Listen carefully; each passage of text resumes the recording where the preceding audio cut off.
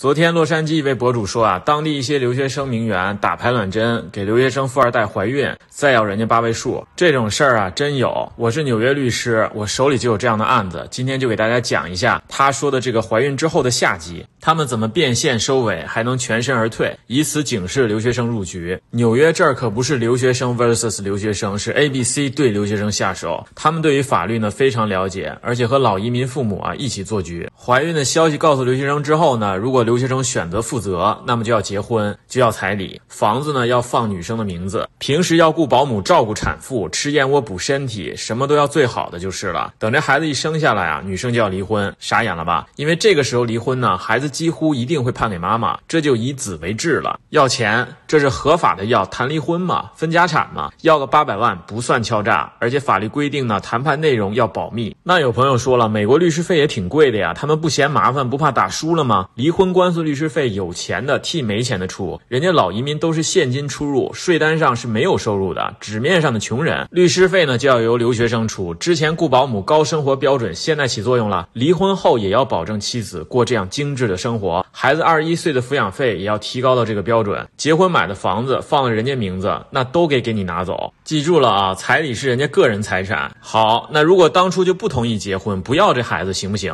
不行，你不要人家要啊，给八位数就不生了。不然十个月后还是要找你要二十一年抚养费，又回到法院了。在美国呀，逃得了税也逃不了抚养费。在未来的日子里，给你小孩穿个小鞋啊，你就给再掏钱给质子改善一下生活。